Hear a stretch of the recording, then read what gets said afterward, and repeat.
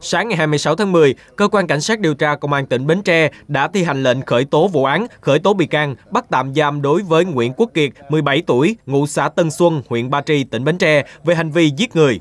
Trước đó vào tối ngày 8 tháng 10, Kiệt đi chơi tại chợ Tân Xuân cũ thì thấy Tống Viết Đạt, 14 tuổi và Lê Dương Minh, 21 tuổi cùng ngụ tại địa phương đang mua thức ăn. Do có mâu thuẫn từ trước với nhóm của Đạt nên Kiệt liền đi tìm nhóm bạn của mình, trong đó có Phan Văn Nhớ 19 tuổi cùng ngụ tại địa phương để bàn kế hoạch đánh Đạt.